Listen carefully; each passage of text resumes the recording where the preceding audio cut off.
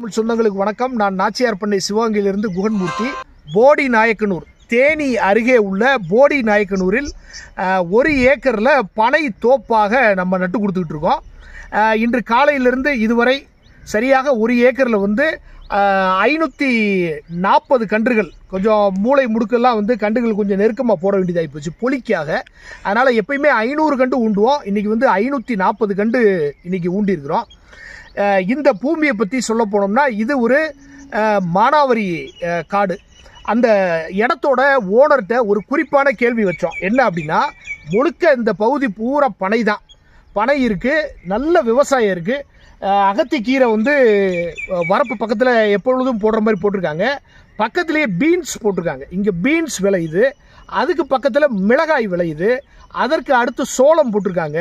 அதுக்கப்புறம் முழுக்க முழுக்க தென்னை தோப்பு தென்னந்தோப்பு இவ்வளவு செழிப்பான பூமி நல்ல செம்மண் பூமி மணச்சாரி. ஆனால் இவங்க வந்து இதை தரிசா விட்டுட்டாங்க. காரணம் என்னென்னா கொரோனா காலகட்டத்துக்கு அப்புறம் வந்து அவங்களால இந்த காட்டை வந்து மெயின்டைன் பண்ண முடியல. ஒரு ஏக்கர்னாலும் மெயின்டைன் பண்ண முடியல. மேன் பவர் பிரச்சனை இருந்துச்சு. அதுக்கப்புறம் அவங்க தரிசாக போட்டதுனால வேலி கருவை. வேலி சீம கருவை வேலி கருவை வந்து அடர்ந்து பெரிய பெரிய முட்களாக வளர்ந்ததுனால இதில் விவசாயம் பண்ணாமல் அவங்க விட்டுட்டாங்க. இப்போ பனை போடுறதுக்காகவே அந்த நெத்து அந்த வேலிக்கரு சீம கருவேல எல்லாத்தையும் கிளியர் பண்ணி ஒதுக்கி போட்டிருக்காங்க. அப்போ இங்கே வந்து அந்த ஐயாட்டை வந்து நம்ம ஏன் இவ்வளவு தென்னை மரங்கள் இருக்கிற இடங்களில் நீங்கள் பனையை நோக்கி போனீங்க நம்ம குறிப்பான கேள்வி வைக்கும் பொழுது அவர் சொன்னது இது வந்து பனை வந்து ஜீரோ மெயின்டெனன்ஸ் அதே மாதிரி நீர் நம்ம ஊற்றி அதை பார்க்கணும்னு அவசியம் இல்லைன்னு ஒரு சரியான பதிலை ஒன்று சொல்லியிருக்கார். நான் வந்து எல்லோருக்கும் சொல்ல விரும்புவது என்ன என்னன்னா மானாவாரி காடாக இருக்குது மானாவாரி க காடாக இருக்குது அதே சமயத்தில் தரிசாக போட்டு வச்சுருக்கீங்க. உங்களால் பார்க்க முடியல. மேன் பவர் பிரச்சனை இருக்குது நீங்கள் எங்கேயோ வெளியூரில் இருக்கீங்க. இந்த காட்டை வந்து பார்க்க முடியல அப்படின்னா பனையை விட ஒரு சிறந்த ஒரு விவசாயம் அல்லது தீர்வு மானாவாரி காடு தரிசு காடுகளுக்கு வேறு மரங்களோ வேறு விவசாயமோ இருக்க முடியாது. அதனால் உறவுகள் நீங்கள் எங்கேருந்தோ சம்பாதித்த இந்த பணத்தை வந்து ஒரு இடத்துல வந்து இன்வெஸ்ட் பண்ணுறீங்க ஆனால் அதில் விவசாயம் பண்ண முடியாத ஒரு சூழல் இருக்குன்னா ஜீரோ மெயின்டெனன்ஸ் உள்ள அதே மாதிரி தண்ணீர் ஊற்றி நம்ம வளர்க்கக்கூடியது அல்லாத அதே மாதிரி உரம் போட்டு வளர்க்கக்கூடிய தேவை இல்லாத பனை மரத்தை போடுங்க. இந்த பனை மரத்தை ஊண்டி கொடுக்கறதுக்கு நம்ம தோப்பாவும் ஊண்டி கொடுக்குறோம் இயற்கை வேலியாகவும் அமைச்சு கொடுக்குறோம். நாச்சியார் பண்ணையை நீங்கள் அணுகலாம். இதில் சில விஷயங்கள் நான் வந்து எங்களுடைய தோப்பு முறை எப்படி நட்டுருக்கோங்கிறது இன்றைக்கே சில காணொலிகள் உங்களுக்கு போட்டிருக்கிறேன். இந்த வாக்கில் நெட்டு வாக்கில் பதிமூணு அடி கேப் விட்டு சீராக நம்ம வந்து நட்டுருக்குறோம். அதே மாதிரி இந்த எவ்வளவு சீராக நட்டுருக்கோங்கிறது நீங்கள் பார்க்கலாம். நூல் பிடிச்சி நட்டுருக்குறோம். இந்த பக்கம் திரும்பினீங்கன்னா அஞ்சடிக்கு ஒரு பனை போட்டிருக்குறோம். அஞ்சடியும் சரியான சீரில் இருக்குது அதே மாதிரி கிராஸ்லேயும் சரியான நூல் பிடிச்சி கிராஸ்லேயும் ஒரே மாதிரி இருக்குது இது நாளைக்கு வளர்ந்து வரும் நேரத்தில் பனை பெருசாக வரும் பொழுது ஒரு ட்ரோன் ஷாட் ஒரு ட்ரோன் கேமரா வச்சு எடுத்து பார்த்தீங்கன்னா மிக அழகான ஒரு சீர்மிகு ஒரு பனை தோப்பாக இது இருக்கும். மெஷினரிஸ் பயன்படுத்துறதுக்கு எல்லாமே ஏதுவாக இருக்கும். இந்த நிலத்தை பொறுத்தவரை பக்கத்தில் வந்து பார்க்கலாம். மலை இப்போ வெஸ்டர்ன் காட்ஸ் எல்லாமே. மேற்கு தொடர்ச்சி மலையில் பக்க அருகில் அந்த அடிவாரத்தில் தான் நம்ம வேலை செஞ்சுக்கிட்டு இருக்கோம்.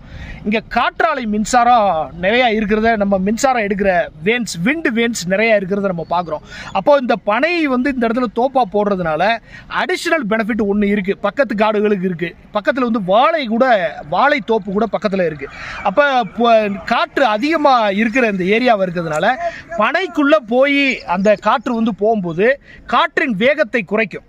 காற்றின் வேகத்தை குறைக்கிறதுனால என்ன பெனிஃபிட் அப்படின்னா வாழை மரங்கள் வந்து சாயாது.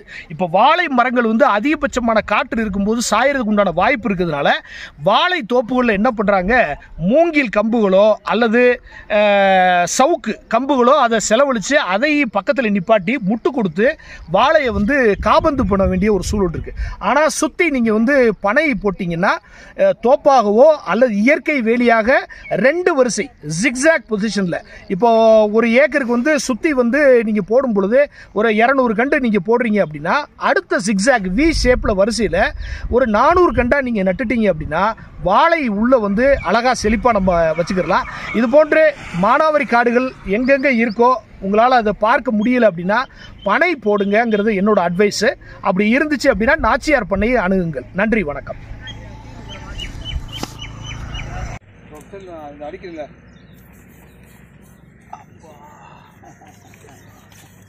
எடுத்துன்னு அடி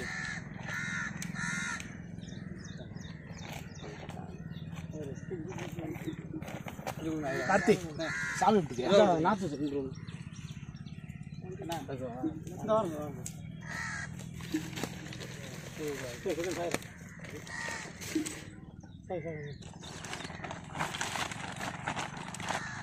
கீழே சாய் படுக்க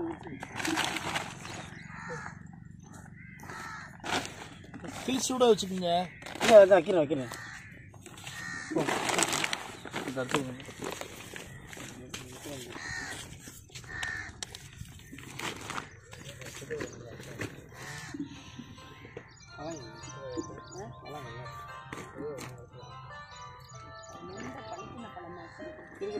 நான்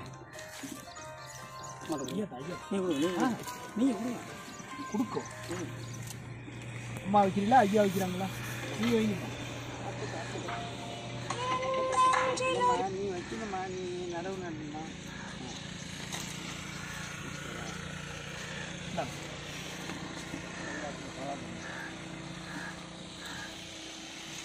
அது உள்ள போடுங்க போடியா?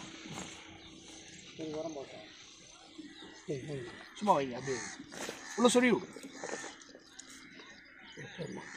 அவ்வளோதான்